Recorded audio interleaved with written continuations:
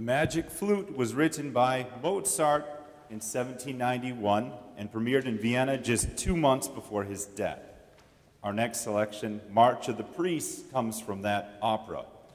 And as I was reviewing my notes for this, uh, the program notes here, I realized I had a typo. Fortunately, not in your program, but I had, instead of uh, March of the Priests, it was March or the Priests. And it just, one letter changes it quite a bit, doesn't it? but here's March of the Priests.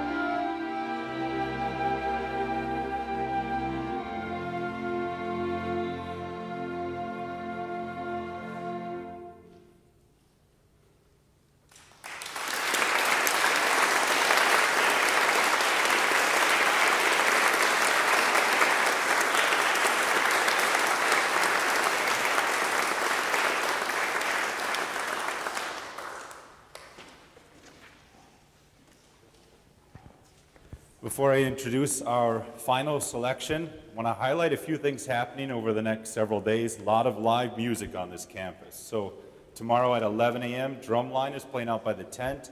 At 3.15, the concert band will be in here. So if there's any concert band students in the audience, I could use some help after the concert to kind of get things set. And uh, on Sunday, there's a church service here at 9 a.m. and the Bethany Choir is part of that. At 3 Sunday afternoon, um, Osmo Vanska is playing clarinet here, as well as the concertmaster and more awesomeness. Yeah, so that's 3 p.m. Sunday afternoon.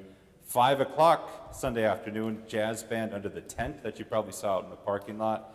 And then on Monday, also jazz band, 5 o'clock. It's the same program both days um, between the SFC and the YFAC. So that means after this concert, I'm going to bed, actually. so, all right.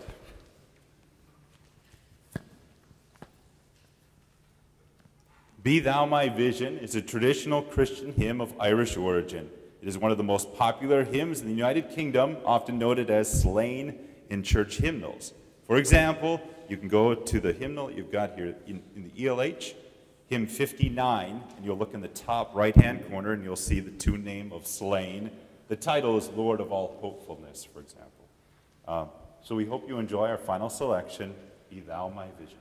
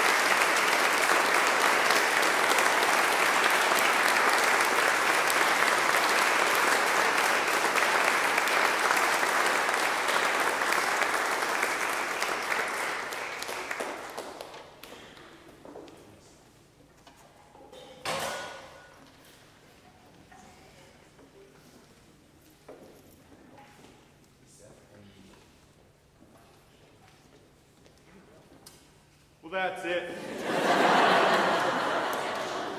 Thank you. Have a great rest.